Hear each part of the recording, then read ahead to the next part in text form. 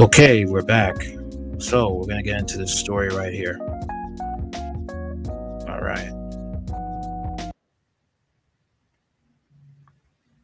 New reality that's heartbreaking and difficult to accept. Even though I went to the funeral and I seen her gone, but my child right here. Back in December, Patricia Pouncey says her daughter, Nikita Washington, went to Harper University Hospital to have this bundle of joy, Nathaniel, her 12th child.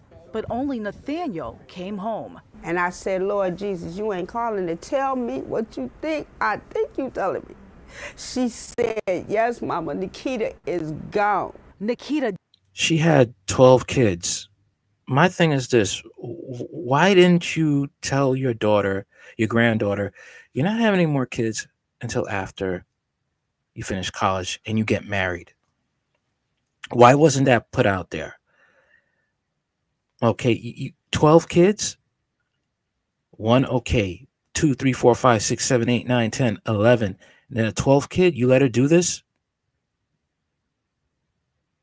Come on now. I mean what type of future do these kids have? Died at just 35 years old. Several of her children, who you see here, are so young but already know pain. They taking it hard. They have good days and they have bad days. They're having a lot of bad days. Where's their daddy? These are not these kids are not from the same father. They're not from the same man how do how do you explain this? How do you explain when these kids get older that they all come from different men? How do you explain that?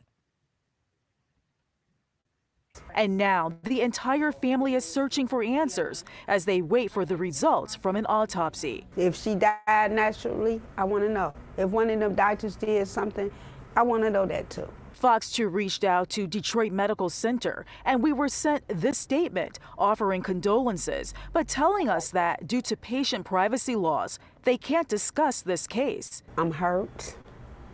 I'm confused. But this grandmother says she must fight to keep Nikita's children together, the oldest being 19 to the youngest, Nathaniel, who is barely two months old. I already thought about it and I will fight to keep them together and keep them with me. And that you're too old. You won't be around.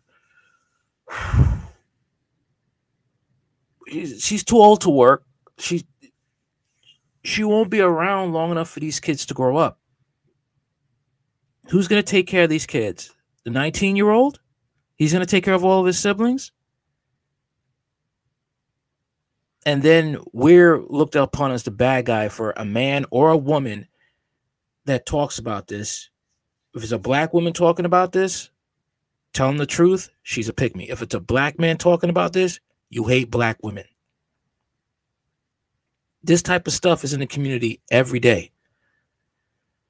And then when you talk about how to fix a community, which is telling them to marry before they carry and to be wise in who they pick to have as their to be the father of their kids, this is when they get mad. This is when they want to howl and cry. This is crazy.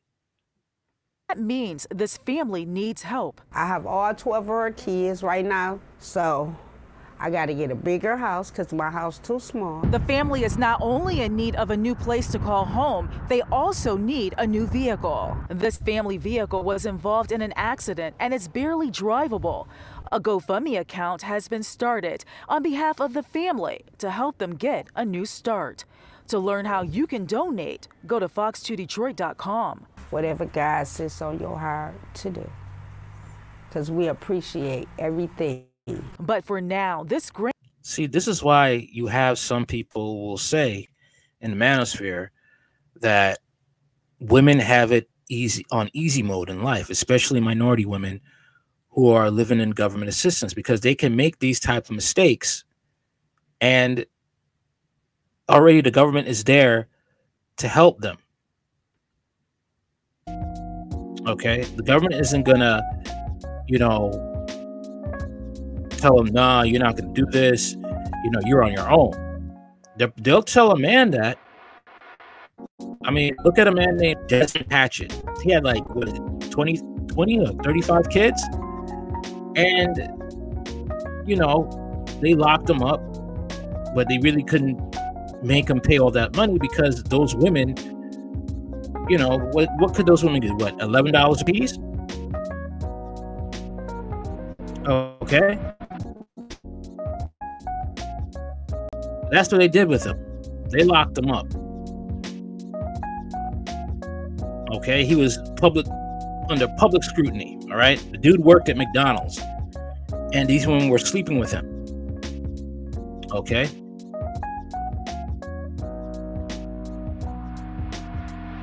Detroit Fox 2, a, a, Detroit grandmother, has been raising her 12, 12 grandchildren after her daughter died. Okay. While giving birth in December. Okay. So it's, you know, the mother. Um, the, the fact of the matter is, again, why did you not put your foot down with this 16 year old? When she first had a baby when she was 16, you're not having any more kids. That's it. Look at you now. Nikita Washington was only 35 when she died during the birth of her son, Nathaniel, at Harper University Hospital. They're taking it hard. They have good days and they have bad days, said Patricia Pouncey, Washington's mother. The family is still waiting for the autopsy results.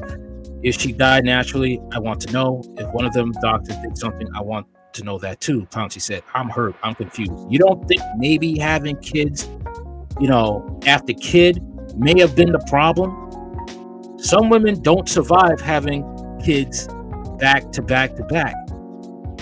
The Detroit Medical Center released a statement that offered condolences, but said that due to patient privacy laws, they can't discuss the case.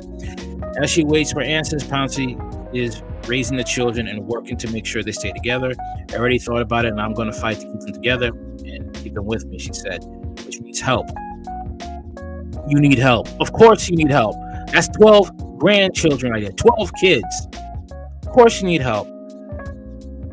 I'm just stuck right now. I have all 12 of her kids right now with me, so I got to get a bigger house because my house is too small. She said, "You oh, you think? You didn't think about that when, you know, after kid number five, kid number ten, the family also needs a new vehicle for after a crash. Whatever God sits it on your heart to do, because we appreciate everything." She said.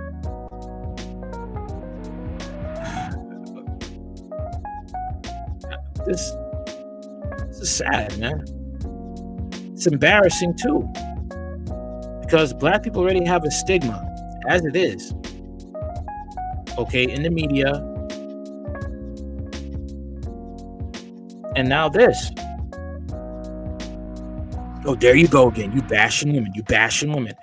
Listen, if it was a man doing this, you guys would be all over that person, crucifying him with your words. But then when you give constructive criticism about a black woman having 12 kids. 12 kids, you know it's not by the same man. Okay? You want to cry foul. There was a woman who was Hispanic and she was called the Octomom, and I think she had the same amount. And she got assistance. See, that's the thing, man. Maybe women do have it on easy mode because they can make mistakes. They can make decisions like this, bad decisions, 12 times over. And there's no real repercussion for that.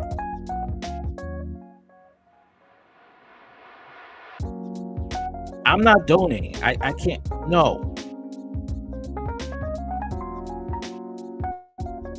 Somebody donates, fine. I'm not against that, but I can't see myself doing this. No. Because I damn sure know if I made this mistake, no one in hell is going to support me. The fact of the matter is, is this, this is going to keep happening. And I'm wondering when they start, you know, rejecting Section 8 vouchers, when things get really hard, how are these kids going to survive? We're in an economic recession. The economy is going to crash soon. Now, what? What is going to happen to these kids?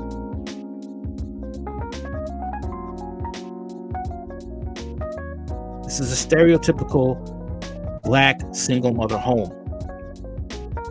What is going to happen with these kids? Especially when the government no longer wants to take care of you, what is going to happen? How will they eat? How will they survive? That 19 year old, the oldest one, he wants his own life. Once again, when you talk this way, you looked upon as a hater in the low, uh, the low economic spectrum of the black community, the low economic uh, rank of it. This is gonna doing stuff like this. This will cause crime. This will cause kids to be criminals because the parents can't afford to feed the kids, especially the grandmother. 12 freaking kids. Let me know what you think in the comments. Like, share, comment, subscribe later.